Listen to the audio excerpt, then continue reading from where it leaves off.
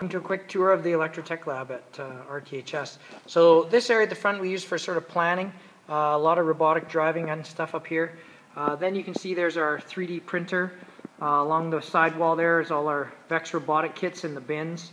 Uh, we've got a big bank of computers that we use for designing, for programming, uh, for creating the parts and pieces needed for all the projects that students have. At the back here, we have kind of a mishmash of stuff. We have, uh, you know, some extra laptop storage. And then we have kind of a small metals area where we can just bend and create some basic metals.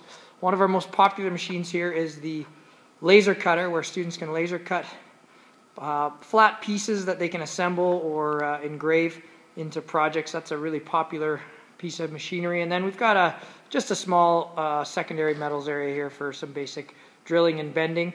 Uh, on this side wall over here, we've got our electronics and soldering station uh, for students to uh, solder and create electronic circuitry that they want to put into their project. So we have an amazing number of tools and an amazing workspace here for students who take Electrotech.